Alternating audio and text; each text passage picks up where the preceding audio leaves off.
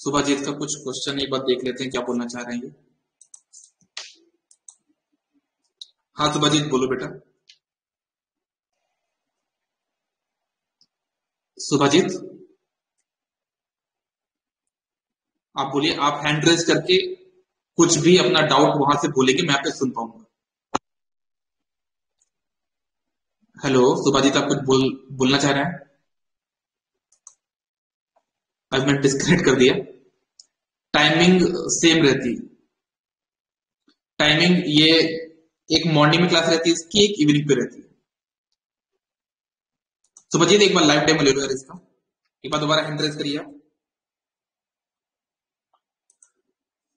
एक बार इसका live time हो जाना चाहिए ना। हाँ सुभाजीत बोलो।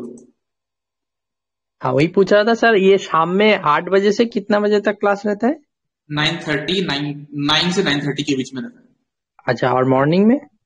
मॉर्निंग में क्या रहता है टाइम यार? क्यों पंकज टाइम बताओ यार मैसेज कर दो। इसका भी मतलब ऐसे ही एट एट एम रहता है शायद से। मॉर्निंग एट एम ओके ठीक है तो मॉर्निंग पे एट है और इवनिंग पे एट है तो याद रहेगा। ठीक है सेवन थर्टी रहता है मॉर्निंग में शायद से। अभी बहुत टाइम से अपन एट एम पे ले रहे हैं लेकिन पहले सेवन थर्टी था टाइम ठीक है? चलो सर और जो अभी आप यहाँ पे बात करो भी बाकी लोग यहाँ पे सुन पा रहे हैं जितने भी यहाँ पे स्टूडेंट होंगे सब सुन पा रहे हैं ठीक है? मतलब कभी डाउट आता है तो आप डायरेक्टली चैट ना करके की जगह आप ये ऑप्शन भी यूज़ कर सकते हो okay okay thank you okay चलो लेकिन ऐसा भी नहीं करें कि हर एक टाइम पे आपको मैसेज करना है इसका। इसका यूज़ कब करना जब आपको कोई डाउट ऐसा है जो आप टाइप नहीं कर सकते हाँ तो आप डेफिनेटली इसका यूज़ करो। चलो आ जाओ भाई सभी लोग यहाँ फटाक से अपन स्टार्ट करते हैं एनर्जी मीटर के बारे में। तो एक बार मैं आपको थोड़ा सा इसका रिविजन दे देता हूँ मैं। ठीक है? एनर्जी मीटर का मैं एक बार आप सभी को रिविजन दे देता हूँ कि हमारे एनर्जी मीटर में टोटल एनर्जी मीटर बनाने के लिए हमको टोटल चार मैकेनिज्म की रिक्वायरमेंट होती है। कौन कौन से मैकेनिज्म पहला होता है ड्राइविंग मैकेनिज्म उसकी रिक्वायरमेंट होगी। दूसरा होगा रोटेटिंग मैकेनिज्म ठीक है? तीसरा होगा ब्रेकिंग मैकेनिज्म और चौथा होगा रजिस्टरिंग मैकेनिज्म ठीक है? तो ड्राइविंग मैकेनिज्म के लिए मैंने क्या किया था? यहाँ पे मैंने संट मैग्नेट लगाया है। ये जो आपका ई शेप का दिख रहा है ना, ये आपका संट मैग्नेट है। और इसका कोर किसका बना हुआ? सिलिकॉन स्टील का बना हुआ। ठीक है? जो आपको यू टेप यू साइड का दिख रहा है यहाँ पे ये ये आपका सीरीज़ मैग्नेट है। और सीरीज़ मैग्नेट पे करंट कॉइल प्लेस किया जाती है दोनों लिंब पे। और संट मैग्नेट के सेंट्रल लिंब पे आपकी पोटेंशियल कॉइल प्लेस की जाती है। पोटेंशियल कॉइल में कितना वोल्टेज होगा? Proportional to supply voltage current coil में कौन सी करंट होगी? Proportional to load current okay और एक चीज़ और देखना, ये जो मैंने मैग्नेट बनाया है, ये वाला जो मैग्नेट बनाया है ये कौन सा मेरा है ये ये मेरा ब्रेकिंग मैग्नेट है। कौन सा मैग्नेट है ये? ब्रेकिंग टॉर्क जो लगाएगा, वो वाला मैग्नेट तो ब्रेकिंग मैग्नेट लिख लेना आप यहाँ पे। ये आपका ब्रेकिंग टॉर्क प्रोवाइड करता है।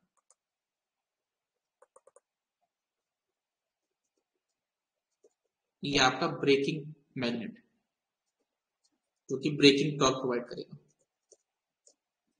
Okay this will provide braking magnet braking torque मतलब ब्रेक लगाने वाला काम, है ना? ओके ठीक है?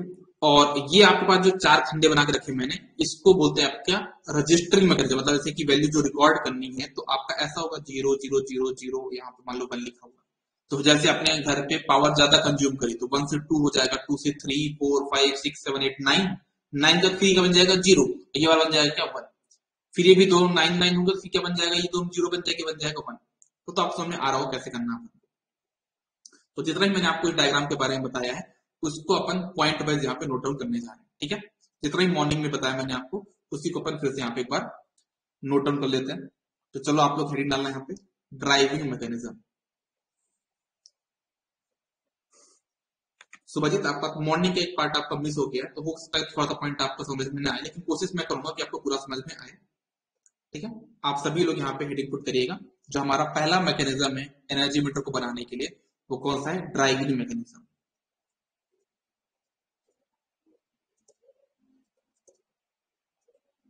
ड्राइविंग मैकेनिज्म अगर हम ड्राइविंग मैकेनिज्म की बात करें तो ड्राइविंग मैकेनिज्म के लिए हम कितने मैग्नेट यूज़ करेंगे? दो मैग्नेट यूज़ करेंगे टू मैग्नेट हम यहाँ पे दो मैग्नेट का यूज़ करने वाले हैं टू मैग्नेट हम यहाँ पे दो मैग्नेट का यूज़ करने वाले हैं। और ये दो मैग्नेट जो है ना, हमारे दो मैग्नेट है। दोनों मैग्नेट हमारे पास यहाँ पे क्या होंगे? इलेक्ट्रोमैग्नेट होते हैं। ये आपको समझना है। ये हमारे परमानेंट मैग्नेट नहीं है। दो हमारे पास जो मैग्नेट यूज़ करेंगे ड्राइविंग टॉर्क के लिए, वो दोनों ही मैग्नेट हमारे पास क्या होंगे? इलेक्ट्रोमैग्नेट इलेक्ट्रोमैग्नेट क्या होता है? कोर पे वाइंडिंग करके आप उसको मैग्नेट तरह बिहेव करा रहे उसी को हम बोलते हैं इलेक्ट्रोमैग्नेट परमानेंट मैग्नेट मतलब जो हमको नेचुरली प्राप्त होता है नेचुरली हमको बोलता है, जो कि एलनिको का एलॉय का होता है, उसको हम बोलते हैं आपका परमानेंट मैग्नेट लेकिन यहाँ पे परमानेंट मैग्नेट नहीं है, यहाँ पे इलेक्ट्रोमैग्नेट कोर है कोर पे हमने वाइंडिंग करी। आप देख सकते हो यहाँ पे डायग्राम पे। ये कोर है संट मैग्नेट का, यहाँ पे अपन ने वाइंडिंग करी। है तो आपका संट मैग्नेट और एक ये फिर से कोर यहाँ पे वाइंडिंग करती है मैग्नेट तरह काम कर रहा है। तो ऊपर वाला इलेक्ट्रोमैग्नेट है और नीचे वाला भी इलेक्ट्रोमैग्नेट है। तो यहाँ पे तो दोनों मैग्नेट आपके कैसे हो। दोनों ही आपके इलेक्ट्रोमैग्नेट दोनों ही मैग्नेट आपके पास यहाँ पे क्या इलेक्ट्रोमैग्नेट है। उन दोनों का नाम मैंने क्या रखा अच्छा एक चीज़ और, इनका जो इलेक्ट्रोमैग्नेट मैंने बताया, इनका कोर कौन से मटेरियल का बना है क्या बताया मैंने? इनका जो कोर है, वो आपका कौन सा मटेरियल का बना है? वो आपका सिलिकॉन स्टील का बना है ना? इसमें आप लोग कंफ्यूज मत होना। ये आपका किसका बना है? कोर सिलिकॉन स्टील रीजन क्यों भाई? सिलिकॉन स्टील की हाई परमेबिलिटी होती है। स्टील की हाई परमेबिलिटी होने की वजह से हम जो इसका कोर बनाते हैं सिलिकॉन स्टील का बनाते हैं। पहली बार सिलिकॉन क्यों ऐड किया? तो आपको पता होगा एडी करंट लॉस को कम करने के लिए अपन ट्रांसफॉर्मर में करते थे। वही कॉन्सेप्ट है कि हम यहाँ पे सिलिकॉन भी स्टील में थोड़ा सा ऐड कर रहे हैं, जिससे हमारा एडी करंट लॉस थोड़ा सा कम हो जाए। फाइन अच्छा इन दोनों इलेक्ट्रोमैग्नेट के जो मैंने नाम बताया जो दो मैग्नेट है मेरे पास, उनके मैंने नाम बताए कौन कौन से नाम है? तो देखना आप सभी लोग।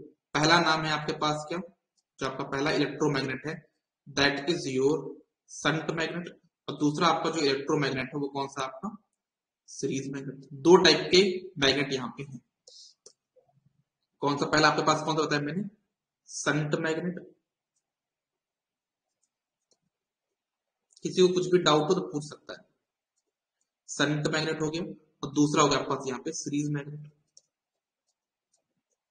अच्छा ये बताओ कि संट मैग्नेट जो था उसका सेप कैसा था? इसका सेप कैसा था? संट मैग्नेट का सेप कैसा था? ई e सेप का था, याद है? इसका सेप ई e था, ठीक है? और इसका सेप यहाँ पे क्या था? जो आपका सीरीज़ मैग्नेट था, उसका यू सेप था।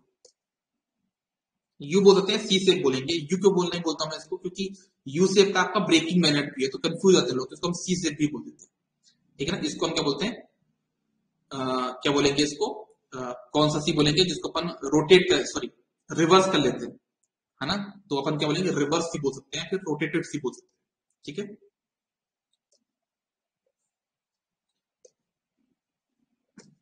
इसको अपन क्या बोलेंगे? सी से बोलता है फिर रिवर्स सी बोल देता हूँ।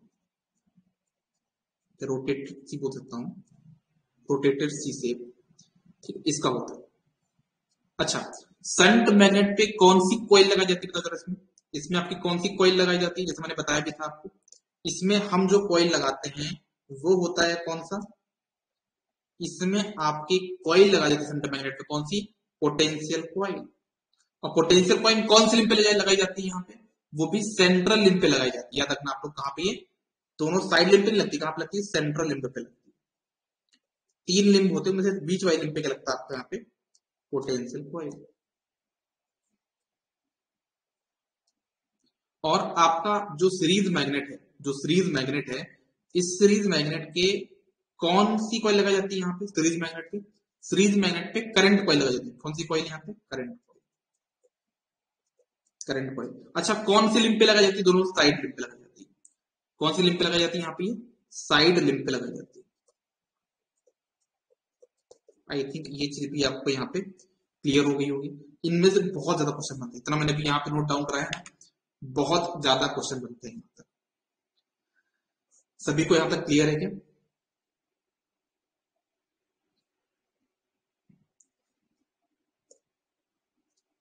है ना आप लोग थोड़ा छोटा सा कमेंट कर दियो कर यस तो उससे मुझे क्लियर रहेगा। ओके सुबह जी, जितने भी आपके लेक्चर छूटे हैं, उनके सारे पीडीएफ अवेलेबल है, सारे की रिकॉर्डिंग अवेलेबल है ना। तो आप उनको देख सकते हो, और पीडीएफ भी अवेलेबल है। What type of question sir इनमें से कौन कौन से क्वेश्चन बन सकते हैं बताता हूँ। पहला क्वेश्चन ये कि हमारा जो इलेक्ट्रोमैग्नेट है, जो आपका ये एनर्जी मीटर है, उसमें कितने इलेक्ट्रोमैग्नेट होते हैं? तो पहला आपका आंसर क्या होगा? दो। एक क्वेश्चन ये बन गया। दूसरा क्वेश्चन ये कि हमारी पोटेंशियल कॉइल कौन से मैग्नेट पे लगाई जाती है? तो आपका आंसर क्या होगा? संट मैग्नेट ये दूसरा क्वेश्चन हो गया।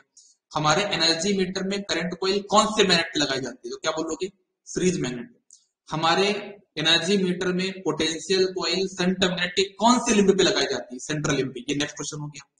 हमारे सीरीज़ में, हमारे एनर्जी मीटर में जो करंट कॉइल है सीरीज़ में की कौन से लिंब पे लगाई जाती है? क्या बोलो कि साइड लिंब पे लगाई जाती हमारा जो एनर्जी मीटर है, उसमें जो हमारा जो इलेक्ट्रोमैग्नेट है, उसका कोर कौन से मेटेरियल का बना होता है?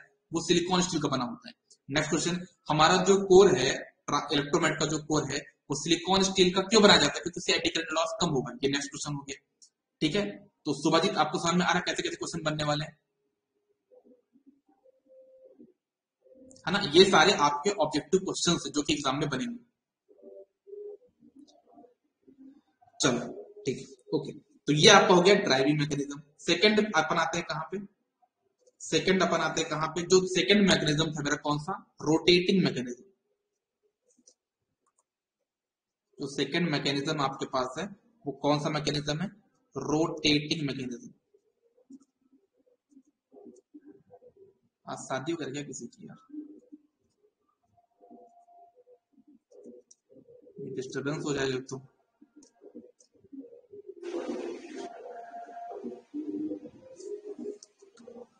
रोटेटिंग मैकेनिज्म तो रोटेटिंग मैकेनिज्म के लिए हम क्या करते हैं? एक डिस्क यूज़ करते हैं जो कि बहुत लाइट वेट हो। लाइट वेट क्यों? क्योंकि भाई अगर जितना कम वेट होगा, उतनी जल्दी रोटेट कर पाएगा ना। है ना? तो हम एक यहाँ पे लाइट वेट एल्यूमिनियम की डिस्क यूज़ करते हैं। एल्यूमिनियम यूज़ करने का रीजन क्या है? एल्यूमिनियम यूज़ करने का रीजन यही है बेटा, क्योंकि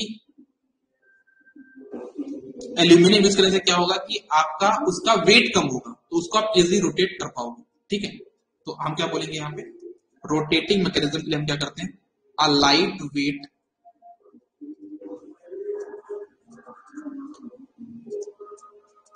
a lightweight aluminum disc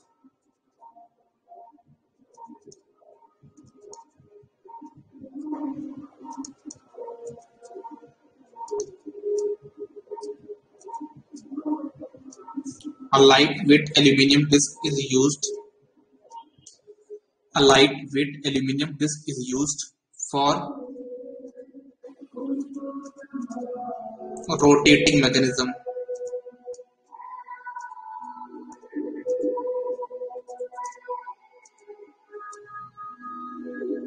ये बात उत्तर है अच्छा एक बात और जो रोटेटिंग मैकेनिज्म है, जो रोटेटिंग डिस्क है आपकी एल्यूमिनियम की जो डिस्क है, उसको आप बताओ किस शेप में होगी? सर्कुलर रेक्टेंगुलर होगी? चीज़ मैंने आपको मॉर्निंग में बताई है। तो वो जो डिस्क होगी वो किस शेप की होगी? सर्कुलर डिस्क होगी। जैसे आपका कॉइन होता है ना, एक रुपए का जो कॉइन होता है, उस टाइप का आपका डिस्क होता है। ठीक है? तो आप चाहो तो आप लिख सकते हो, जो डिस्क होगा उसका शेप कैसा होगा?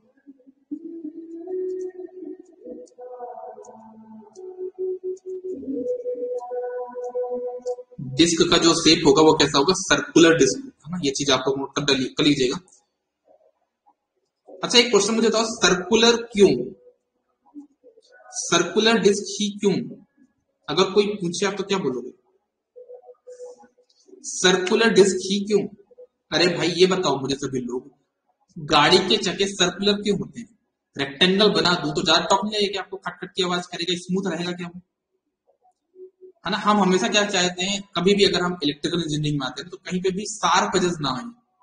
इस बात को हम लोग चाहते हैं, हमेशा जानते हैं कि शार्प एजेस से होगा क्या कि एक तो टॉर्क में प्रॉब्लम जाएगी, दूसरा हमारे पास वहाँ पे कोरोना की भी प्रॉब्लम थोड़ा सा रहेगी, है ना? तो हम वहाँ से बचने के लिए क्या करते हैं शार्प एजेस से दूर रहते हैं। ठीक है ना? उसके लिए हम क्या करते हैं सर्कुलर डिस्क लेते हैं। हम क्या लेते हैं यहाँ पे? सर्कुलर डिस्क लेते हैं। डिस्टर्बेंस ज़्यादा हो रहा है क्या? अगर ज़्यादा डिस्टर्बेंस होगा, अभी हालाँकि थोड़ा दूर है उन लोग डीजे वाले, थोड़ा पास में आएँगे तो अपन क्लास को ऑफ़ कर लेंगे, जैसा बोलोगे तो बता चलो, ठीक है। बैकग्राउंड म्यूज़िक चल रही है सही है। चलो, ठीक है। तो ये आपका हो गया सेकंड मैकेनिज्म रोटेटिंग मैकेनिज्म और थर्ड आते हैं अपने पास कौन सा मैकेनिज्म यहाँ पे? ब्रेकिंग मैकेनिज्म मतलब जैसे आप गाड़ी चलाते हो ना तो गाड़ी मतलब क्या होता है कि एक क्वेश्चन बनता है कि हमारे एनर्जी मीटर में कंट्रोलिंग टॉप क्यों लगाया जाता है? तो एक बात ध्यान रखना कि कंट्रोलिंग टॉर्क मतलब क्या? पॉइंटर को रोकना। रोकने वाला काम क्या होता है? कंट्रोलिंग टॉर्क का होता है, लेकिन ब्रेकिंग मतलब होता है स्लो डाउन करना। जैसे आप गाड़ी चला रहे इसका मतलब सामने कोई आप गाड़ी रोक ही दोगे। आप गाड़ी को स्लो करोगे ना। वैसे डिस्क है यहाँ पे तो डिस्क आपकी चल रही चल रही चल रही। अचानक से लोड कम हो गया तो वो स्लो होगा, ना कि बंद होगा। ठीक है ना? तो उसके लिए हम क्या करेंगे? ब्रेक लगाएँगे, ना कि कंट्रोलिंग टॉप यहाँ पे क्वेश्चन बनता है कि हमारे एनर्जी मीटर में कौन सा टॉप प्रेजेंट नहीं होता तो क्या बोलोगे? कंट्रोलिंग टॉप हमारे एनर्जी मीटर में कौन सा टॉप होता है? ब्रेकिंग टॉप होता है, ना कि कंट्रोलिंग टॉप ठीक है? कंट्रोल टॉप काम क्या होता है? जैसे अपन ने एमीटर में पढ़ा, हमको पॉइंटर को टेन एम्पियर पर रोकना है तो वहाँ पे क्या लगता है? कंट्रोलिंग टॉर्क लेकिन यहाँ पे क्या होगा आपके पास? कि हमारे डिस्क को रोकना नहीं है स्लो करना है। स्लो करने के लिए हम क्या करेंगे? वहाँ पे ब्रेकिंग टॉर्क लगाएँगे। ठीक है? तो थर्ड यहाँ पे हो जाएगा आपके पास? ब्रेकिंग टॉर्क या फिर ब्रेकिंग मैकेनिज्म लिखना आपको यहाँ पे। थर्ड जो मैकेनिज्म हमारे पास यहाँ पे कौन सा है?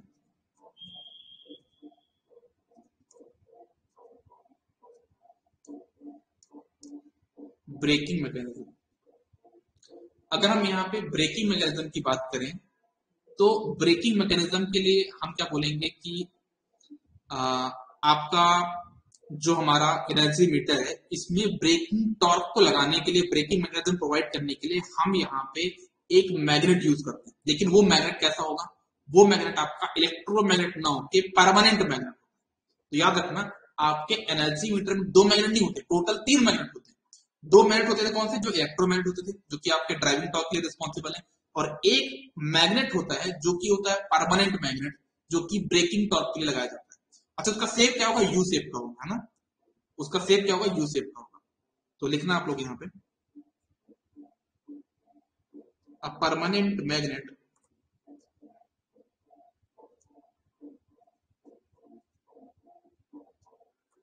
permanent magnet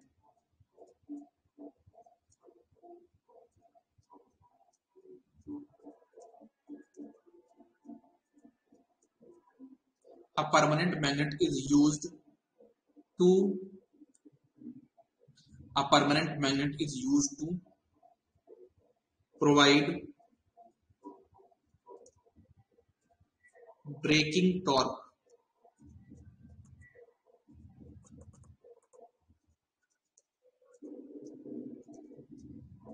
Braking torque to a permanent magnet is used to provide braking torque to what disc braking torque disc अच्छा एक बात और। अच्छा एक बात और। ब्रेकिंग टॉर्क का लगना। स्पीड स्लो होगी, है ना? अब एक क्वेश्चन यहाँ पे बनता है कि ब्रेकिंग टॉर्क कैसे लगेगा? ठीक है ना? ब्रेकिंग टॉर्क लगने की वजह से हमारा यहाँ पे क्या इफ़ेक्ट देखने को मिलेगा? हम यहाँ पे बात करने वाले ठीक तो एक बात ध्यान देना। कि जैसे ये आपका क्या था, स्पिंडल जो यहाँ पे ग्रीन कलर से बना हुआ आपका स्पिंडल है और ये आपका मैग्नेट है।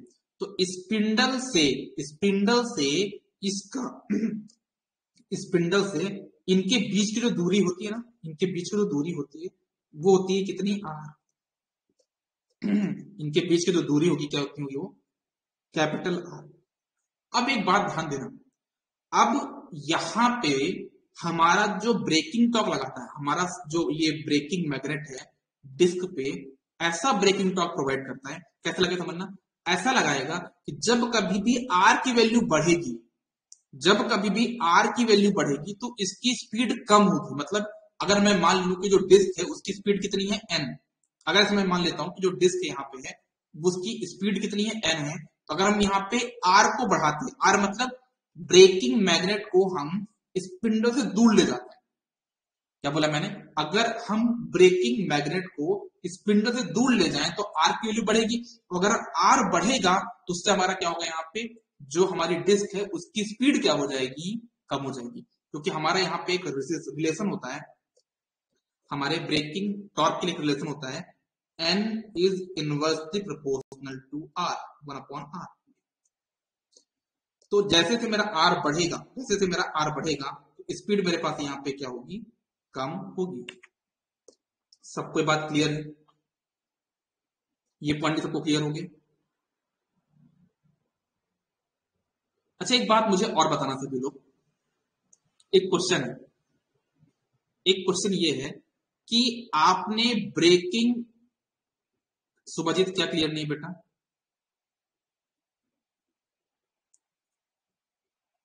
सुभजीत क्या डाउट है? बिल्कुल, खुल के डाउट पूछो यार। आर वाला क्या क्लियर नहीं इसमें? अगर आर ये बता रहा हूँ मैं कि ये जो ब्रेकिंग मैग्नेट है ना ब्रेकिंग मैग्नेट है, इसकी पोजीशन ऑटोमेटिकली एडजस्टेबल मतलब ये आगे पीछे जा सकता है, ये इधर जा सकता है इधर जा सकता है।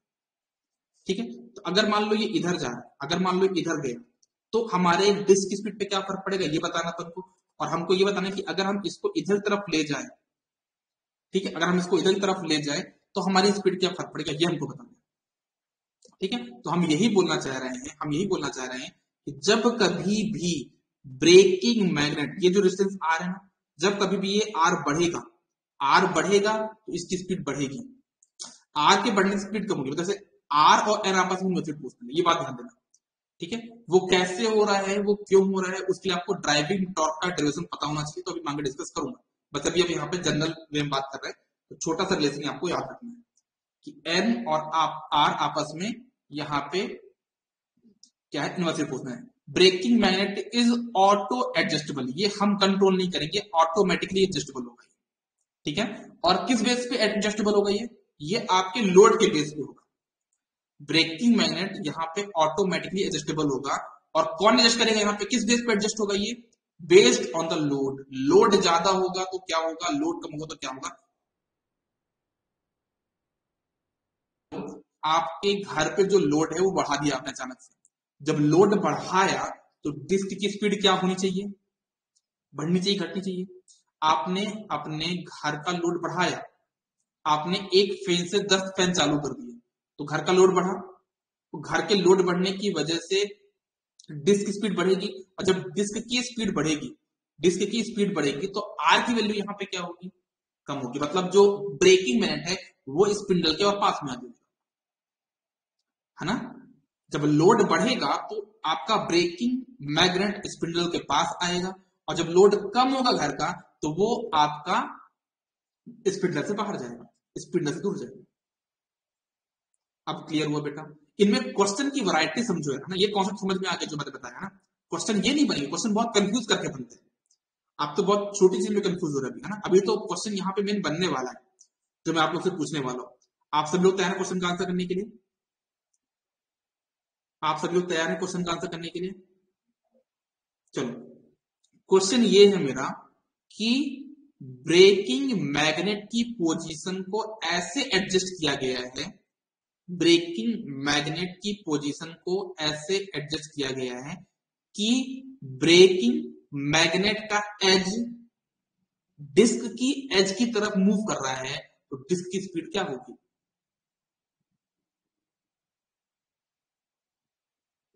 फिर से क्वेश्चन रिपीट करूँ? फिर से क्वेश्चन रिपीट करूँ?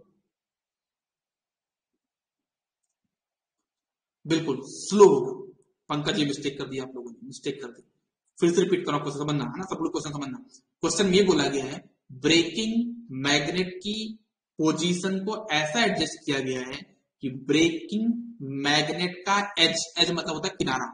ब्रेकिंग मैग्नेट का edge is moving towards the edge of aluminium disc तो मतलब कहने का मतलब ये है कि इसको हमने ऐसा मूव किया है ब्रेकिंग मैग्नेट को कि जो हमारा ये वाला एज जो किनारा है, वो इसकी एज की तरफ़ ट्रेवल कर रहा है।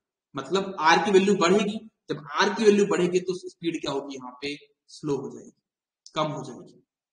ठीक है ना? तो इस क्वेश्चन नोट कर लीजिए आप लोग यहाँ पे। एक पॉइंट लिखिएगा आप लोग।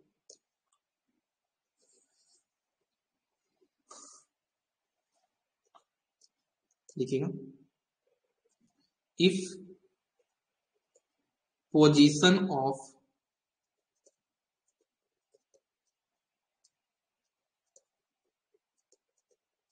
braking magnet if position of braking magnet is adjusted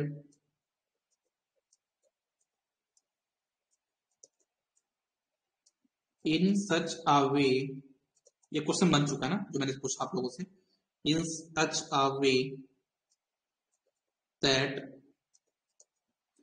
edge of as of braking magnet as of braking magnet.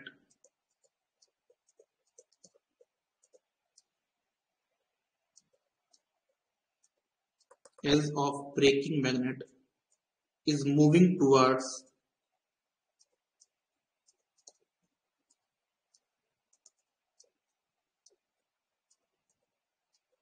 as of braking magnet is moving towards what as of braking magnet is moving towards, as of as of aluminum disc.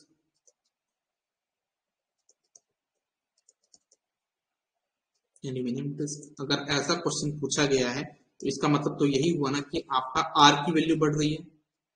इसका मतलब तो यही हुआ ना कि are की value यहाँ पे बढ़ रही है।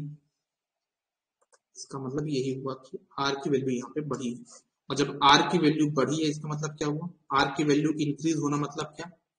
आर की वैल्यू का इंक्रीज होना ये इंडिकेट करता है कि आपके पास यहाँ पे स्पीड यहाँ पे क्या हुई होगी? कम हुई होगी। Speed will decrease speed of the disc will decrease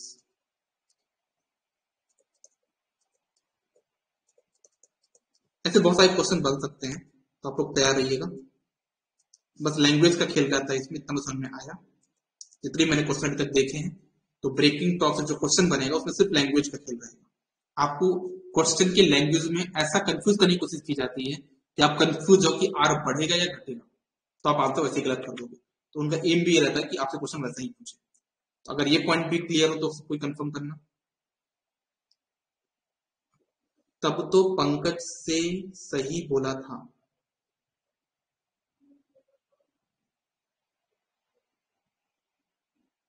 मतलब?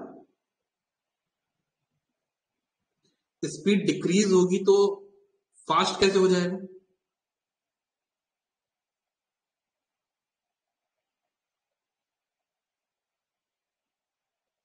पंकज ने क्या सही बोला था? अभी तो समझ समझ नहीं आया मेरे को, क्या बोलना चाह रहा हूँ विक्रम आपने क्वेश्चन मार्क लगाया है, वो समझ में नहीं आया। आप लोग हैंड रेज कर लो यार, है ना? आप ज़्यादा कंफ्यूज होने वाली बात नहीं है। आप डायरेक्ट हैंड रेज कर लो। अभी नो, मेरा हेडफोन रेडी है यार। पाँच सौ रुपए का हेडफोन खरीदा मैंने।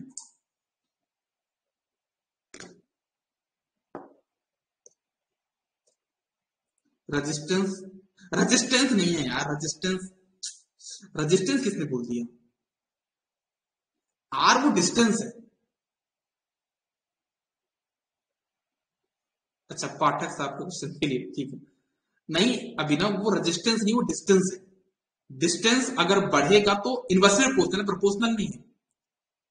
इन्वर्सली प्रोपोर्शनल है मतलब एक बढ़े, दूसरा घटेगा जैसे आप लोग का सोना और आपका रैंक दोनों इन्वर्सली प्रोपोर्शनल है। जितना ज़्यादा सोओगे, उतनी रैंक कम होगी। जितना कम सोओगे, उतनी रैंक ज़्यादा होगी। ठीक है? ठीक है? चलो इन्वर्सली मतलब एक के बढ़ने दूसरा कम होना, उसको हम बोलते हैं क्या? इन्वर्सली पोर्शन है ना? आप वहाँ पर थोड़ा सा मिस्टेक कर रहे हो कोई नहीं। चलो तो ये हमने तीन मैकेनिज्म तो पढ़ लिए। एक लास्ट मैकेनिज्म हमारे पास यहाँ पे बचा हुआ है। तीन मैकेनिज्म तो यहाँ पे हो गया। हमारे पास एक मैकेनिज्म और बचा हुआ, उसको हम देख लेते हैं। हमारा जो फोर्थ मैकेनिज्म वो कौन सा है? हमारा रजिस्टरिंग मैकेनिज्म रजिस्टरिंग मतलब कि जो भी हमारा डिस्क रोटेशन ले रहा है, उसको कहीं पे पेन कॉपी ले, कोई रिकॉर्ड करेगा मतलब अपने मीटर पे कोई रिकॉर्ड करेगा रिकॉर्ड करने के लिए आपके पास यहाँ पे कुछ मैकेनिज्म प्रोवाइड किया जाएगा। उसका नाम क्या होता है साइड से डिस्कस करने वाले हैं। तो जो हमारा फोर्थ मैकेनिज्म है, उसको हम क्या बोलेंगे? रजिस्टरिंग मैकेनिज्म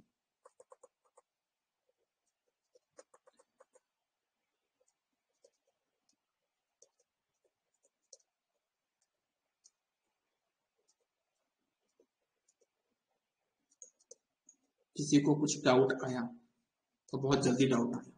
मैं देखता हूँ किसका डाउट है और गलत टाइम पे डाउट आ रहा है। सुभजीत आपका डाउट है? देखते हैं। हाँ सुभजीत बोलो। अगर लोड घर का ज़ीरो हो गया मतलब सब लाइट फ़ैन ऑफ़ कर दिया हाँ। तो तो डिस्क का स्पीड ज़ीरो होना चाहिए? उस टाइम ब्रेकिंग मैग्नेट का स्टेटस क्या होगा? उस टाइम पे ब्रेकिंग मैग्नेट का स्टेटस क्या होगा? स्पीड क्या होनी चाहिए वहाँ पे?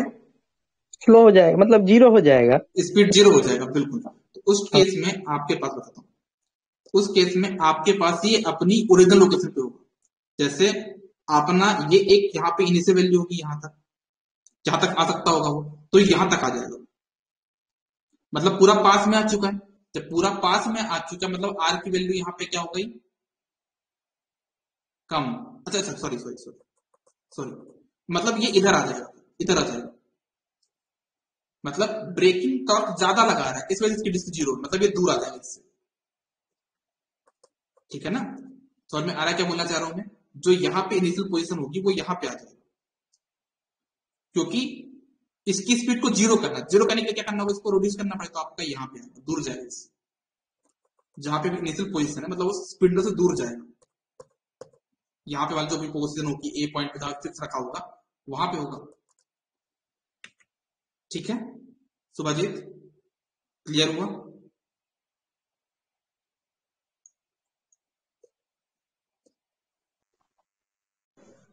हाँ बेटा पूछिए। तो इसका मतलब ब्रेकिंग मैग्नेट का काम तो है ब्रेक ब्रेकिंग करना। हम्म। तो वो जो परमानेंट मैग्नेट लगा हुआ है वो हम्म। तो उसके बीच में डिस्क रहेगा तो ब्रेक करेगा ना? हाँ अगर डिस्क के बाहर हो जाएगा तो ब्रेक कैसे करेगा? नहीं ब्रेक का मतलब समझना जैसे आपने बोला घर का सारा लोड बंद है ठीक आपने ये बोला ना? हम्म। जब घर का सारा लोड बंद है तो, तो ये तो इसका मतलब जल्दी ब्रेक करना पड़ेगा ना? नहीं नहीं नहीं ब्रेक की बात नहीं है। देखो ब्रेकिंग टॉर्क अपना ब्रेक लगा रहा है लेकिन एक बात ये समझो आपके कहने का मतलब क्वेश्चन जो आप समझा क्वेश्चन को मैं थोड़ा सा मॉडिफाई करता हूँ। आप कहने क्वेश्चन ये है कि हमारी गाड़ी है। हमने गाड़ी बंद कर दी फिर हम ब्रेकिंग टॉर्क कैसे लगाएँगे अरे अपने जब गाड़ी बंद कर दी तो अपन गाड़ी एक्सेलरेट ही नहीं होगी ना। आपने लोड बंद कर दिया, साइन लोड बंद कर तो आपकी करंट कॉइल में करंट ज़ीरो होगी, जो यहाँ पे करंट कॉइल लगाया आपने। जब उसमें करंट ज़ीरो होगी तो आपका ड्राइविंग टॉर्क ही नहीं लगेगा। जब ड्राइविंग टॉर्क ही नहीं लगेगा तो आप उस पर ज़ीरो क्यों करना उसको? वो तो ऑटोमेटिक ज़ीरो रह जाएगा ना फिर। जब आपने घर के सारे लोड बंद किए हैं, उस केस में घर में जो करंट कॉइल है, उसमें करंट ज़ीरो होगी, जो सीरीज़ मैग्नेट पे लगा हुआ है। जब उसमें करंट ज़ीरो होगी तो जो ड्राइविंग टॉर्क होगा, हमारे डिस्क पे लग रहा है, वही ज़ीरो हो जाएगा। जब ज़ीरो वही हो गया तो उसको रोकने के हमको ड्राइव ब्रेकिंग टॉर्क क्यों लगाना? ब्रेकिंग टॉर्क कहीं पे रहे फिर, बीच में रहे सेंटर पर रहे, कहीं पे भी रहे, उससे कोई फ़र्क नहीं पड़ेगा। क्यों नहीं फ़र्क पड़ेगा? क्योंकि आपके डिस्क पे ड्राइविंग टॉर्क ही लग रहा। है जैसे आपकी गाड़ी खड़ी हुई है आप उसको ब्रेक लगाओगे हमेशा क्या नहीं लगाओगे ना? क्यों लगाओगे? क्योंकि उस पर कोई टॉर्क ही नहीं लग रहा ड्राइविंग टॉर्क जब ड्राइविंग टॉर्क लगेगा तो हम उसको ब्रेक लगा के स्पीड को कंट्रोल करते हैं। ठीक है तो ब्रेकिंग मैग्नेट का काम है खाली स्पीड को कंट्रोल करना। बिल्कुल स्पीड को कंट्रोल करना बस। इसका इसका काम ये है। डिस्क को ज़ीरो करने वाला काम किसका है? आपके ड्राइविंग टॉर्क का। जब ड्राइविंग टॉर्क ही नहीं है तो डिस्क तो आपकी मूव होनी करनी नहीं चाहिए ना। हम्म। ठीक है? ओके ओके क्लियर आपका डाउट ये हाँ सर देखो ऐसी क्लास रहती है तो मज़ा आता है। तभी तो रेटिंग आएगी। ओके मतलब थोड़ा सा मैं ये बोलना चाह रहा हूँ कि इस तरह के डाउट आप लोग पूछोगे तो मुझे भी इंटरेस्ट आता पढ़ाने में। अगर आप चुपचाप नोट करोगे तो उतना इंटरेस्ट मुझे भी नहीं आता। तो आप लोग थोड़ा सा खुद से डाउट बनाओ। कितने चीज़ें जितने डाउट डाउट बनाओगे ना मैं आपको क्लियर बता रहा हूँ जितने डाउट बनाओगे उतनी कम आपको रिविजन करने में प्रॉब्लम है है ना? तो डाउट बनाना सीखो, है ना? जो डाउट बनते तो ठीक है डाउट बनाना सीखो। चलो, इतना क्लियर तो अपन आगे बढ़ते हैं यहाँ पे। हमारे पास जो फोर्थ मैकेनिज्म है, वो कौन सा है? रजिस्ट्री मैकेनिज्म तो रजिस्ट्री मैकेनिज्म के लिए मैं क्या करता हूँ कि जैसे मान लीजिए ये मेरे पास यहाँ पे, ये मेरे पास यहाँ पे आपका, इस टाइप का कुछ मैकेनिज्म होता है यहाँ पे।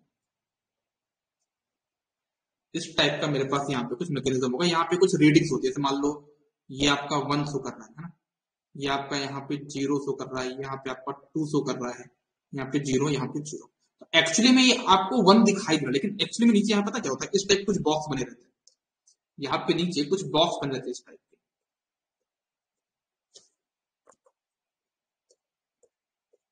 जैसे यहाँ पे वन है और एक यहाँ पे ऊपर भी होगा इस टाइप का जैसे यहाँ पे वन लिखा हुआ ना तो यहाँ पे ऊपर एक होगा ज़ीरो फिर ये वन हो गया फिर यहाँ पे क्या होगा two three four five six seven eight nine और ये सब आपस में कनेक्टेड होंगे।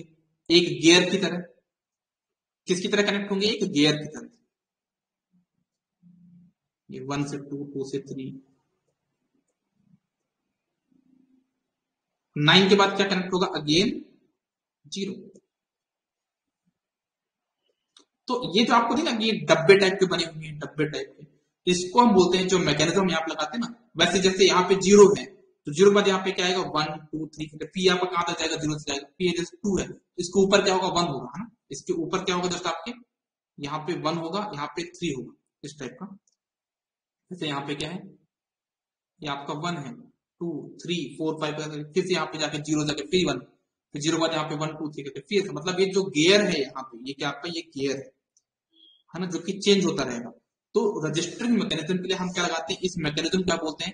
ट्रेन ऑफ़ रिडक्शन गियर इसको हम क्या बोलते हैं? ट्रेन ऑफ़ रिडक्शन गियर जैसे जैसे आपका मान लो लोड बढ़ा तो ये वन से टू होगा तो गियर धीरे बढ़ता जाएगा। इस टाइप का है ना? तो इसको हम क्या बोलेंगे? इसका नाम क्या होता है? रजिस्टिव मैकेनिज्म कोई पूछे, कौन सा लगाते क्या बोलोगे? Train of reduction gear is use आप लोग नोट कर यहाँ पे। क्या उसको हम क्या बोलते हैं? Train of reduction gear.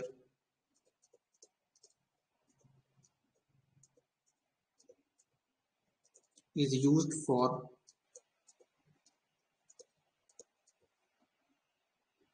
registering mechanism registering the energy consumed energy consumed in units. यहाँ पे वॉट सेकंड में एनर्जी कंज्यूम नहीं करता रीड नहीं करता। किसमें सो करता है आपका? यूनिट्स में। Energy consume in units units का मतलब क्या होता है? एक यूनिट मतलब कितना होता है? याद रखना आप लोग। वन यूनिट होता है कितना? One kilowatt per hour one kilowatt hour ठीक है? मतलब आपका एक यूनिट का बिल कितना आएगा मतलब क्या होगा? आपके घर पे मान लो सौ वाट के बल्ब है। तो आप अपने घर पे दस बल्ब चालू कर दो। सौ सौ वाट के कितना हो जाएगा? थाउज़ेंड वॉट थाउ, उस दस वाट को आप जो दस बल्ब है, सौ सौ वाट के, उनको आप एक घंटे तक यूज़ करो। तब जाके आपके घर पे एक यूनिट का बिल आएगा। ठीक है? तो आपको एक क्लियर हो गया कि एक यूनिट कितना बिल होता है? कितनी एनर्जी होती है एक यूनिट? एक यूनिट मतलब कि जैसे आपके घर पे सौ सौ वाट के बल्ब हैं तो आप दस बल्ब को ऑन कर लो, ठीक है? और उन दस बल्ब को आप एक घंटे तक ऑपरेट करो। अगर आप उनको एक घंटे तक ऑपरेट करोगे तो उससे क्या होगा आपका? एक यूनिट का बिल आएगा। अच्छा एक चीज़ मैं आपको और बता देता हूँ कि जो आपके, जो बल्ब है ना, आपके जो बल्ब है, आज की डेट में कौन कितने वॉट जाते हैं? सब एलईडी वाले बल्ब जो पहले आपके पास बल्ब होते थे, कौन से होते थे? वो इनकैंडेसेंट बल्ब। जो पहले आपके बल्ब होते थे, कौन सा थे? वो इनकैंडेसेंट बल्ब। उनमें क्या होता था कि बहुत वाटेज रेटिंग ज़्यादा होती थी। सिक्सटी वॉट के हंड्रेड वॉट के बल्ब आते थे। उस टाइम पे जो बल्ब आते थे, वो हंड्रेड वॉट तक के बल्ब आते थे। ठीक है? और आज की डेट में आपके जो कौन से बल्ब आ गए हैं? एलईडी लैंप आ गए हैं। एलईडी एलईडी कितने वॉट के होते हैं? चार वॉट पाँच वॉट नहीं यार एलईडी आठ वॉट बहुत ज़्यादा का जाता है पता आपको चीज़? अगर आपको अगर आपको ल्यूमेंस का कंपेरिजन करना हो, अगर आपको ल्यूमेंस का कंपेरिजन करना हो तो एक बात ध्यान देना, जैसे कि जितना सौ वाट का ब्लैक आपका इनकैंडेसेंट लैंप जितनी लाइट देता था ना, उतना आपका पाँच वॉट का एलईडी भी लाइट दे सकता है। आठ वॉट तो बहुत बड़ा लैंप हो गया। जैसे मैं अपने रूम पे जो लगाया यहाँ पे वो एट वॉट का है। है ना? अगर छोटे से रूम पे लगाना तो फाइव वॉट इज़ सफिशियंट तो मतलब twenty times watt is saving है। आपके एलईडी में ट्वेंटी टाइम्स क्या है आपका यहाँ पे? एनर्जी सेविंग इसलिए इनको एनर्जी सेविंग नाम पे ज़्यादा बोला जाता है ना? और अच्छा एक बात और आपको बता दू मैं। सी एफ़ एल भी ऑलमोस्ट किस कैटेगरी में आते हैं? लाइट्स एनर्जी सफिशियंट मान जाते हैं ना? है ना? सीएफएल भी आपके एनर्जी एफिशिएंट माने जाते हैं। लेकिन मुझे ये बताओ, आप लोग देखते हो गया है ना? कि आजकल आप सभी लोग देखते हो टीवी वगैरह पे, हर जगह एलईडी का ही एग्जांपल मतलब एलईडी का ही आपके पास वहाँ पे एडवर्टाइजमेंट आता है। सीएफएल का एडवर्टाइजमेंट क्यों नहीं होता? आपने देखा होगा ना, आज की डेट में हर जगह एलईडी को प्रमोट किया जाए क्यों? सीएफएल को क्यों नहीं? एक टाइम था जब हम कौन से बल्ब यूज़ करते थे? इनकैंडेसेंट उस टाइम पे हमको बोला गया कि आप सीएफएल यूज़ करो। हम सीएफएल में आ गए। सीएफएल में आएँगे तो हम एलईडी में क्यों बुलाया जा रहा है? क्यों बोला जा रहा है? अरे लाइफ ज़्यादा है एलईडी की तो उससे बाकी लोग को क्या problem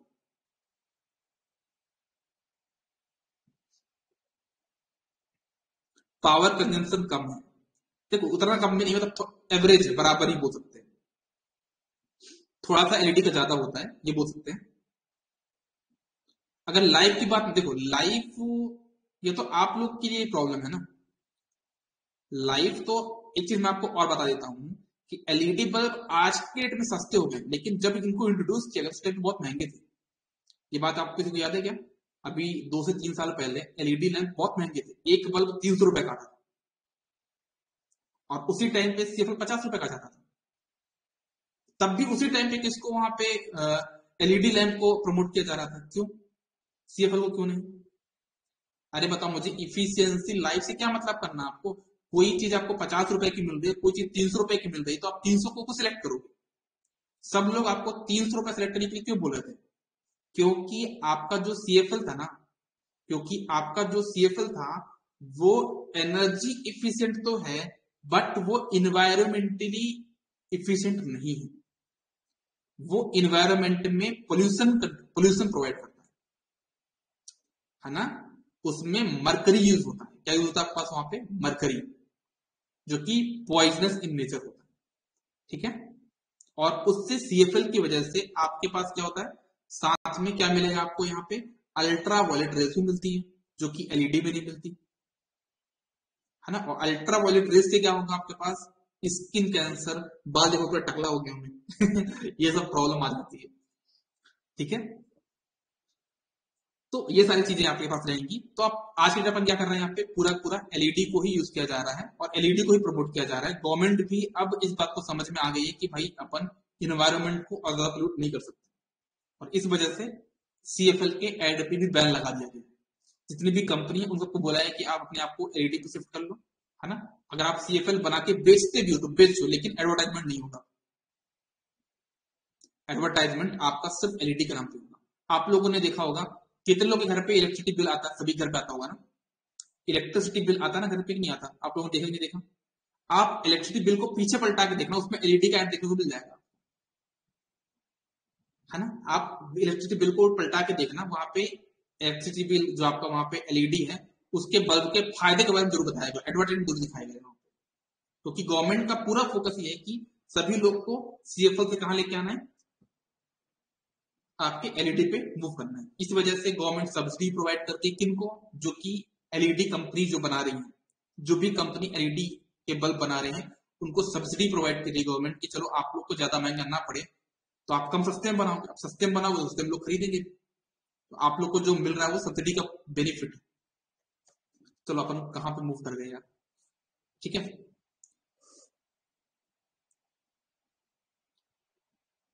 hi I am so happy कौन है भाई? ये मुझसे बहुत ज़्यादा हैप्पी हो गया। जस्ट अ सेकंड कोई मुझसे बहुत ज़्यादा हैप्पी हो गया, मैं देख लेता हूँ कौन है भाई ये। ऐसे ऐसे। लोग आ जाते हैं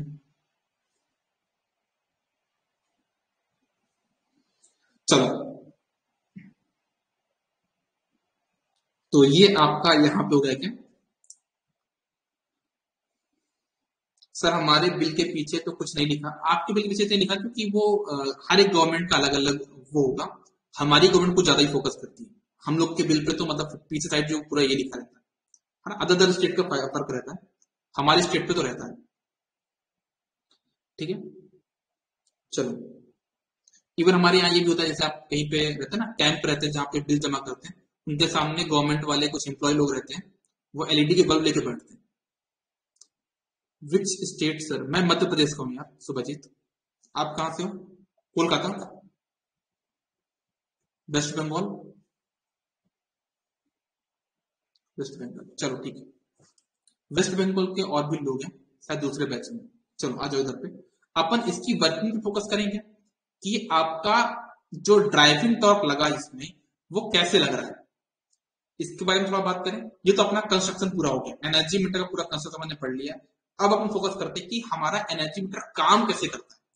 जो हमारा डिस्क रुका हुआ था, उस पर टॉर्क कैसे लग गया, वो हम यहाँ पे देखने वाले ठीक, बहुत ही इंपॉर्टेंट चीज़ है। ये आप लोग यहाँ पे क्या?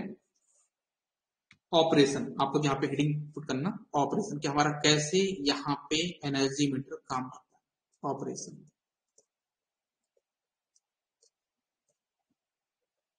देखना, हमारे पास एनर्जी मीटर पे दो तरह के कॉइल होती है। जैसा मैंने बताया था, एक होती है पोटेंशियल कॉइल एक होती है करंट कॉइल एक होती है कौन सी? पोटेंशियल कॉइल और एक होती है आपके पास यहाँ पे कौन सी कॉइल करंट कॉइल ठीक है? पोटेंशियल कॉइल पे जो वोल्टेज होता है पोटेंशियल कॉइल पे जो वोल्टेज होगा, वो कौन सा वोल्टेज होगा? पोटेंशियल कॉइल के पास जो वोल्टेज होगा, वो होगा क्या? वीपीसी बोले क्या सप्लाई वोल्टेज वीपीसी होगा पोटेंशियल कॉइल वोल्टेज होगा, और जो पोटेंशियल कॉइल वोल्टेज किसके बराबर होगा? वो सप्लाई वोल्टेज के बराबर होगा वीएस के बराबर होगा। ठीक है? इसमें भी मुझे कोई प्रॉब्लम यहाँ पे नहीं है। ठीक है? अच्छा जब ऐसा कुछ है तो मुझे, आप सभी लोग ये बताओ कि क्या आपके पोटेंशियल कॉइल पे कुछ करंट फ्लो नहीं होगी पोटेंशियल कॉइल पे वोल्टेज वीपीसी है। तो क्या पोटेंशियल कॉइल कुछ करंट फ्लो नहीं हुई क्या? बिल्कुल होगी सर। तो आपके पोटेंशियल कॉइल पे एक करंट फ्लो होगी, इसको बोलता मैं आईपीसी हाँ या ना? समझ में आया क्या बोला मैंने? पोटेंशियल डायग्राम को देखो आप। प्रॉपरली समझ, समझना। आपका एक पोटेंशियल कॉइल है। पोटेंशियल कॉइल में कौन सा पोटेंशियल है जो कि सप्लाई का पोटेंशियल है? है ना? आप इसमें कुछ करंट भी देखो, इसमें जब पोटेंशियल का मतलब वोल्टेज तो कुछ करंट तो फ्लो ही नहीं होगी। बिल्कुल करंट फ्लो होगी। तो यहाँ पे जो करंट फ्लो रही, वो क्या हो रही है? आईपीसी करंट अब देखो, यहाँ पे कुछ नंबर ऑफ़ टर्न्स भी होंगे ना? यहाँ पे कुछ नंबर ऑफ़ टर्न्स भी होंगे। तो यहाँ पे होने क्या वाला है? यहाँ पे होने क्या वाला है कि इस आईपीसी की वजह से, क्योंकि आप पास वहाँ पे कुछ टर्न्स भी होंगे, आपके पास यहाँ पे क्या क्रिएट होगा? एक एमएमएफ क्रिएट होगा। है ना? यहाँ पे क्या क्रिएट होगा? एक एमएमएफ क्रिएट होगा। एम मतलब क्या? Magnetic motive force MMF create होगा। और उसकी वैल्यू बताता हूँ कितना हो जाएगा। एन वन मान लो अगर नंबर ऑफ़ टर्न्स कितने यहाँ पे? एन वन लिख देता हूँ यहाँ पे number of turns N one है और इसके जो नंबर ऑफ़ टर्म्स वो एन टू है। तो आपके पास यहाँ पे जो एम एफ़ क्रिएट हो कितना हो जाएगा? वो एन वन आईपीसी क्रिएट होगा। ठीक है? आपके पास यहाँ पे जो एम एफ़ क्रिएट हो कितना होगा? वो एन वन इंटू आईपीसी ये एम एफ़ क्रिएट हो गया एन इंटू आई होता है एम एफ़ होता है। और एम एफ़ क्रिएट हो गया ना, अब देखो, ये जो एम एफ़ क्रिएट हुआ है, और आपके पास यहाँ पे कोर कैसा सिलिकॉन स्टील का है तो उसका कुछ रिलेक्टेंस भी नहीं होगा। उस कोर का कुछ रिलेक्टेंस भी होगा तो आपको पता है कि आपके कोर पे, आपके जो संट मैग्नेट का जो कोर है, उस पे एक फ्लक्स सेटअप हो जाएगा। फ्लक्स कितना होगा? फाइव पीसी और उस फाइव पीसी वैल्यू क्या होगी? फाइव पीसी मतलब क्या? एम एफ़ अपॉन रिलेक्टेंस आपके पास यहाँ पे फ्लक्स क्रिएट हो जाएगा। जिसकी वैल्यू क्या होगी? M M F upon reluctance किसका रिलेक्टेंस अपन देखेंगे यहाँ पे? कोर का भाई सिलिकॉन जो आपका स्टील का जो कोर है, जो संट मैग्नेट का कोर है, उसका उस रिलेक्टेंस भी होगा। तो उस बेस पे हम यहाँ पे क्या कर लेंगे इसका? हमारे कोर पे कुछ फ्लक्स भी क्रिएट हो जाएगा। मतलब हमारे पास यहाँ पे फ्लक्स क्रिएट हो गया। फाइव पी से अच्छा मुझे ये सभी लोग बताओ, सभी लोग बताना कि यहाँ पे पोटेंशियल कॉइल पे आपने जो सप्लाई थी वो एसी थी या डीसी थी? सर एसी सप्लाई थी। अगर वो एसी सप्लाई थी मतलब टाइम वेरिंग नेचर का फ्लक्स था। मतलब जो टाइम वेरिंग करंट वोल्टेज रहा जो यहाँ पे सप्लाई आपने दी, वो टाइम टाइम वेरिंग रहा होगा। तो सप्लाई टाइम वेरिंग रहा होगा तो आईपीसी भी टाइम वेरिंग रहा होगा, और आईपीसी टाइम वेरिंग होने की वजह से जो फ्लक्स यहाँ पे क्रिएट हुआ होगा, वो भी कैसा रहा होगा? टाइम वेरिंग फ्लक्स यहाँ पे क्रिएट क्या सब कुछ की बात क्रिएट क्लियर है क्या? जितना मैंने अभी आपको बताया पोटेंशियल कॉइल में कौन सा आपने वोल्टेज लगाया है? वीपीसी तो आपके पोटेंशियल में कितना वोल्टेज है सप्लाई वोल्टेज उसकी वजह से उसमें कुछ करंट भी होगी आईपीसी आईपीसी जो नंबर ऑफ़ टर्न्स करंट से जाएगी तो वहाँ पे एक एमएफ क्रिएट होगा। और एमएफ क्रिएट होने की वजह से आपके जो कोर है, जो संट मैग्नेट का कोर है, उस पर एक फ्लक्स भी क्रिएट हो जाएगा फाइव पीसी अब जो यहाँ पे फाइव पीसी कैसा नेचर है यहाँ पे? टाइम वेरिंग नेचर है। कैसा ये टाइम वेरिंग नेचर है। और जब ये टाइम वेरिंग नेचर है तो जब ये टाइम वेरिंग नेचर तो जो डिस्क यहाँ पे है ना? जो डिस्क है डिस्क आपकी यहाँ पे क्या है? स्टेशनरी है। जो आपकी एल्यूमिनियम की डिस्क अभी टॉर्क उस पर लगने लगा तो रुकी हुई है। जो एल्यूमिनियम की डिस्क वहाँ पे क्या वो रुकी हुई है। तो वो अभी ऐसा है। तो जब अल्टरनेटिंग फ्लक्स डिस्क को कट करेगा तो क्या डिस्क पे एक इमेज जनरेट नहीं होगा क्या? जो आपकी एल्यूमिनियम डिस्क है, देखो, आपका जो फ्लक्स है, वो कैसा है? अल्टर टाइम वेरिंग फ्लक्स है। जब टाइम वेरिंग फ्लक्स है तो टाइम वेरिंग फ्लक्स किससे लिंक करेगा? आपके एल्यूमिनियम डिस्क से। तो वहाँ पे एल्यूमिनियम डिस्क पे इंड्यूस नहीं होगा क्या? होगा नहीं होगा। बिल्कुल होगा सर तो यहाँ पे हमारे पास अकॉर्डिंग टू फेराडेज लॉ हमारे डिस्क पे, हमारे डिस्क पे क्या होगा एक ईएमएफ इंड्यूस होगा। और जो डिस्क पे जो ईएमएफ इंड्यूस होगा, उसको बोलता हूँ यहाँ पे कौन सा ये? ईपी ईपी इंड्यूस्ड ईएमएफ होगा यहाँ अब देखना डिस्क पे हमारे पास कहा ये जो ईपी इंड्यूस कहाँ पे आपके? जो आपके एल्यूमिनियम के डिस्क जिसको घूमना है, उस पर एक ईएमएफ इंड्यूस होगा ईपी और क्योंकि डिस्क का एक रिएक्टेंस भी होगा ऑब्वियसली होगा तो उसकी वजह से इसमें कुछ करंट भी फ्लो होगी। और जो करंट वहाँ पे फ्लो होगी, उसको मैं क्या बोलूँगा? सर्कुलर करंट मतलब जैसे एडी करंट कौन सी करंट होगी यहाँ पे? एडी करंट होगी एल्यूमिनियम डिस्क पे। उस एडी करंट को मैं बोलता हूँ यहाँ पे कौन सी करंट नाम देता हूँ इसका क्या? आई ई पी मतलब वो ऐसी करंट है जो कि एडी करंट मतलब आई ई पी मतलब कि पोटेंशियल कॉइल इसके रिस्पॉन्सिबल है। मतलब जो ये आपके पास डिस्क पे ईपी e जनरेट हुआ है, वो किसकी वजह से जनरेट हुआ? ये आपके पोटेंशियल क्वाइल के वोल्टेज की वजह से आपका जनरेट हुआ क्या ये पॉइंट सबको यहाँ तक क्लियर है या नहीं? जितना मैंने बताया, इतना पॉइंट सबको क्लियर है।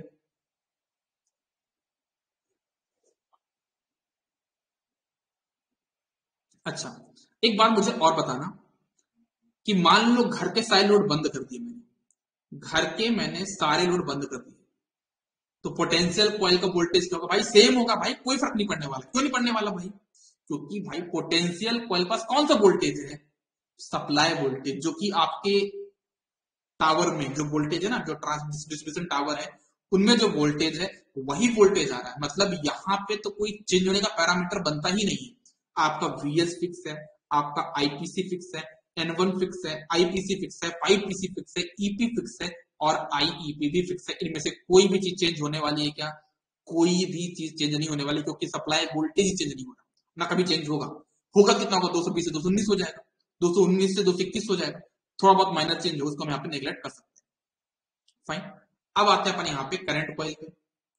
हमारे करंट कॉइल पे कौन सी करंट फ्लो हो रही है यहाँ पे? हमारे करंट कॉइल पे कौन सी करंट फ्लो हो रही है यहाँ पे? हमारे करंट कॉइल पे जो करंट फ्लो हो रही है that is our what load current कौन सी करंट है हमारे पास? लोड करंट आई एल क्योंकि हमारा करंट कॉइल लोड के सीरीज़ में कनेक्टेड है। तो लोड करंट कैरी कर रहा है मतलब घर के सारे लोड बंद करिए मतलब लोड करंट आपको ज़ीरो घर के सारे लोड बंद करिए मतलब क्या आपने यहाँ पे क्या हो गया? आई एल ज़ीरो घर के सारे लोड ज़्यादा ऑन कर दिए मैंने। मतलब आई एल ज़्यादा लोड करंट ज़्यादा ठीक है? अब मैं इसको दो मिनट बोलता हूँ, क्या I L equal to ICC बोल दिया मतलब करंट कॉइल करंट मैंने इसको बोल दिया। ठीक है? जब इसमें करंट कॉइल करंट है अब इसमें नंबर ऑफ़ टर्न्स इसमें भी है करंट कॉइल भी है कि नहीं है? बिल्कुल कितने टर्न्स आपके पास यहाँ पे? एन टू तो यहाँ पे भी क्या होने वाला आपके पास? यहाँ पे भी आपके पास एक क्या होगा? एमएमएफ क्रिएट होगा। ये अपना अलग एमएफ क्रिएट करेगा कितना करेगा वो? एन टू मान नंबर ऑफ़ टर्न्स कितना हो जाएगा? N two into ICC number आपके पास यहाँ पे क्या क्रिएट करेगा ये? एमएमएफ क्रिएट करेगा इंटू इंटू आईसीसी आपका एमएफ क्रिएट करेगा। सिमिलरली आपका जो सीरीज़ मैग्नेट है, उसका भी एक रिलेक्टेंस होगा। अगर रिलेक्टेंस होगा तो इसका भी एक क्या हो जाएगा आपके पास यहाँ पे? फ्लक्स क्रिएट हो जाएगा। और फ्लक्स कितना क्रिएट होगा आपके पास यहाँ पे? वो होगा आपके पास यहाँ पे फाइव सीसी और फाइव सीसी की वैल्यू क्या होगी? एम एफ़ अपॉन रिलेक्टेंस किसका रिलेक्टेंस सीरीज़ मैग्नेट का, जो नीचे लगा हुआ है ना। ये फाइव सीसी आ गया। और इस फाइव सीसी तो ये जो आपका जो करंट है, वो कैसा है? टाइम वेरिंग करंट है। उस वक्त एमएल भी टाइम वेरिंग होगा तो फ्लक्स क्या था फ्लक्स भी टाइम वेरिंग होगा। जब फ्लक्स टाइम वेरिंग है तो जब फ्लक्स अपना पाथ कंप्लीट करेगा तो आप मुझे बताओ कि क्या ये डिस्क जो सामने रखी बीच में, क्या उसको कट नहीं करेगा? जब कट करे तो डिस्क पे क्या होगा? अगेन एक ईएमएफ इंड्यूस होगा। आपके डिस्क पे अगेन क्या होगा? एक EMF induce होगा। That will be your what? That will be your what? What? EC EC मतलब क्या? आपके करंट कॉइल की वजह से डिस्क पे एक इंड्यूस ईएमएफ हुआ। देखना ईपी जो इंड्यूस ईएमएफ हुआ है, ये कॉइल पे नहीं हुआ बहुत होता है कॉइल पे हुआ, अगर नहीं, ये जो ईपी इंड्यूस हुआ है, ये डिस्क पे हुआ। ये जो ईसी हो, ये भी डिस्क पे हुआ, लेकिन ये जो ईपी इंड्यूस हुआ है डिस्क पे उसके पीछे का रीजन कौन है? पोटेंशियल कॉइल और जो डिस्क पे ईसी e आया है, उसके पीछे का जो रीजन वो क्या है? करंट कॉइल राइट अब, क्योंकि डिस्क का अगेन एक रिएक्टेंस होगा, उसकी वजह से एक यहाँ पे करंट फ्लो होगी, जिसको बोलूँगा मैं एडी करंट हो जाएगी मेरे पास यहाँ पे क्या? आई ई सी मतलब eddy current induce in the disc due to current coil I C मतलब क्या? आई ई e मतलब eddy current induce in the disc due to current coil IEP मतलब क्या? Eddy current induced in the disc due to potential coil सबको यहाँ तक कहानी clear हुई। बताओ जरा सभी लोग ठीक है? अब होता क्या है समझना? अब होता क्या है समझना? जैसे कि आपके इंडक्शन मोटर में होता है कि आपका एक कॉइल का फ्लक्स एक कॉइल का फ्लक्स ये आपके पहले वाली कॉइल का फ्लक्स है ना? पहले वाली कॉइल का फ्लक्स आपके एक कॉइल का फ्लक्स दूसरे कॉइल के इंड्यूस्ड एडी करंट से इंटरलिंक करेगा और हमको एक टॉर्क प्रोवाइड करेगा, जिसको हम बोलते हैं क्या? टी डी वन एक हमको टॉर्क प्रोवाइड करेगा टी डी वन सिमिलरली हमारे दूसरे कॉइल का जो ये वाला कॉइल है, दूसरे कॉइल का एडी करंट और पहले वाले कॉइल का हमारा यहाँ पे क्या है? फ्लक्स आपस में इंटरलिंक करेंगे और हमको प्रोवाइड करेंगे एक दूसरा टॉर्क टी डी टू जो कि दोनों ही क्या लगते हैं आप पे? अपोजिट डायरेक्शन में लगते हैं। ये दोनों आपस में इंटरेक्ट करके क्या करते हैं? हमको टॉर्क प्रोवाइड करें। कौन कौन इंटरेक्ट करता समझना आपके पोटेंशियल कॉइल की वजह से जो फ्लक्स क्रिएट हुआ है फाइव पीसी पोटेंशियल कॉइल का फ्लक्स किससे इंटरलिंक करेगा? ये आपके डिस्क पे जो एडी करंट है, और जो एडी करंट कौन सी, इसकी भी एक एडी करंट है। लेकिन वो एडी करंट से इंडिकेट नहीं किसका इंडिकेट करेगा? जो कि करंट कॉइल की वजह से एडी करंट आई थी, उससे इंटरलिंक करके मुझे टॉर्क प्रोवाइड करेगा T one similarly current coil का फ्लक्स किससे इंटरेक्ट करेगा? ये आपके एक एडी करंट से इंटरेक्ट करेगा। वो जो एडी करंट हो, कौन सी एडी करंट होगी? जो कि पोटेंशियल कॉइल की वजह से आई है, इनको इंटरेक्ट करके आपको टीडी टू प्रोवाइड करेगा। अब दो ही टॉर्क यहाँ पे लग रहे हैं और दोनों टॉर्क की डायरेक्शन यहाँ पे क्या होगी? अपोजिट होगी। अपोजिट होगी मतलब कैसे? मैं आपको बताता हूँ। जैसे मान लो आपका ये डिस्क जैसे मान लो आपका ये डिस्क तो टी वन अगर ऐसा लग रहा है टी वन अगर ऐसा लग रहा है, इस डायरेक्शन में अगर लग रहा है तो टी टू कैसा लगेगा? अपोजिट डायरेक्शन में। आपका टी टू अपोजिट डायरेक्शन में लगेगा और इसी रीजन की वजह से जो हमारा डिस्क था, उसका जो शेप था कैसा था? सर्कुलर था। क्योंकि अब इसमें हमको बहुत बहुत आसानी मिलेगी। क्यों? क्योंकि हमारे डिस्क पे दो तरह टॉक लग रहे हैं। अब देखो, अगर इस तरह टॉक लगाओगे तो डिस्क इधर घूमेगी और ये इसको इधर घुमाएगा। मतलब आपको यूनिडायरेक्शनल टॉक मिल जाएगा। आपको यहाँ पे एक यूनिडायरेक्शनल टॉक मिल जाएगा। क्यों मिल जाएगा? क्योंकि आपने डिस्क की जो शेप दिया, वो क्या दिया आपने यहाँ पे? सर्कुलर शेप दिया। अगर ये सर्कुलर शेप नहीं होता ना तो बहुत प्रॉब्लम रहती है अगर ये सर्कुलर शेप का नहीं होता तो डिस्क को रोटेट करने में बहुत प्रॉब्लम होती तो हमने उस प्रॉब्लम को वैसे ही हटा लिया by choosing a disc having a circular shape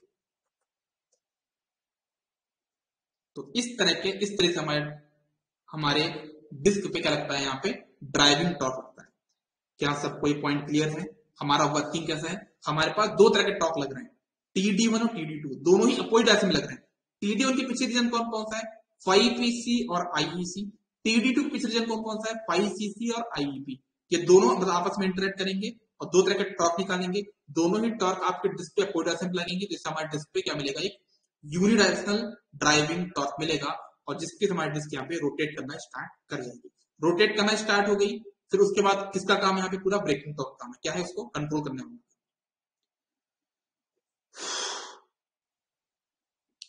clear हुआ?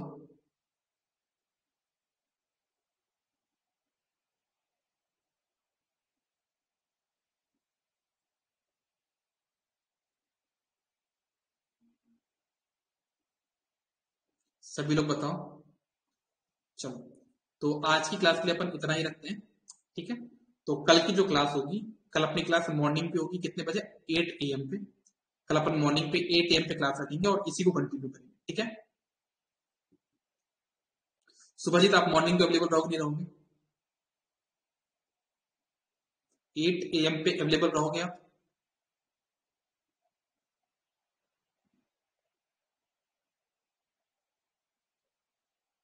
ट्राई करेंगे। ठीक है रिकॉर्डिंग तो अवेलेबल रहेगी और पीडीएफ भी अवेलेबल रहेगा। ठीक है? और आप टेलीग्राम चैनल भी ज्वाइन कर लीजिएगा, जो भी आपका डाउट हो टेलीग्राम चैनल पे पूछ सकते हो। चलो, मिलते हैं कल की क्लास पे मॉर्निंग एट एम पे, है ना? सभी लोग, आप लोग रेडी रहिएगा। Bye bye take care good day